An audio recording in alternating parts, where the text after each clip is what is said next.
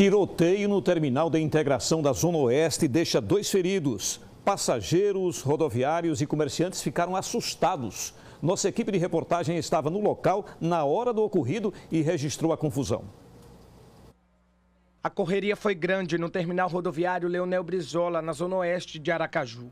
Era por volta de 1h40 da tarde, quando pelo menos sete tiros foram disparados. A nossa equipe de reportagem chegava no local no momento do tiroteio e precisou se abrigar. O desespero foi generalizado. Foi tiro, deram tiro no policial.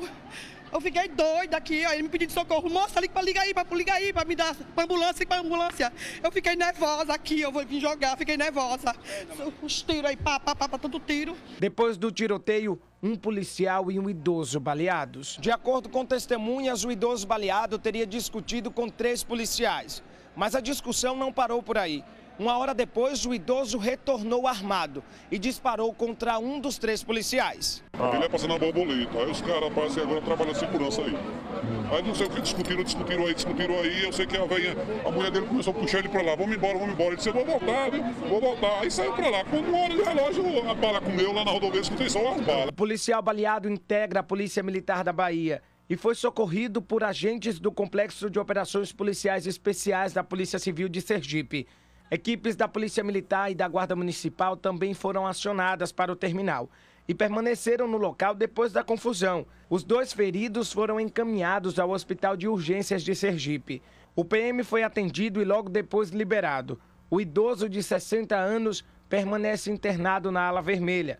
De acordo com a Polícia Militar, o idoso não tinha porte de arma e estava no terminal em busca de um fiscal de uma empresa do transporte coletivo de Aracaju. Hoje pela manhã, o senhor que tinha, teria sido atingido também estava no USE, teve um desentendimento com um dos fiscais da empresa Progresso, lá mesmo na, na catraca de, de adentrar aquele terminal. Quando foi por volta das 13 horas, esse mesmo senhor volta àquele terminal e aí tinha uma arma em punho, aponta para os funcionários nesse momento. Esse policial da Bahia, ele vendo aquela situação, ele reagiu àquela, àquela circunstância. E a informação de que os três policiais, na verdade, envolvido aí no, envolvidos no fato, estariam atuando como segurança privado ali. Essa informação já chegou à Polícia Militar?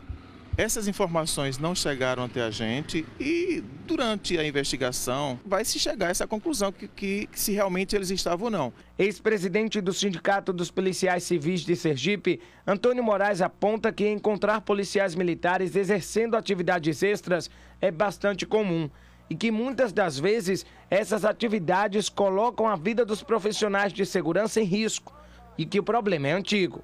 Por que o policial militar, ele se dispõe a, a, trabalhar de bico de segurança privado de um terminal rodoviário, porque é baixo seu salário. Na Polícia Civil em Sergipe não há uma vedação. Já na Polícia Militar e Bombeiro Militar há uma vedação. É? E veja, e para se agir como segurança privado, tem que ter toda uma formação técnica, tem que passar por, por cursos técnicos e, e tem que estar vinculado a uma empresa formal e essa empresa fiscalizada pela Polícia Federal. Que violência, hein?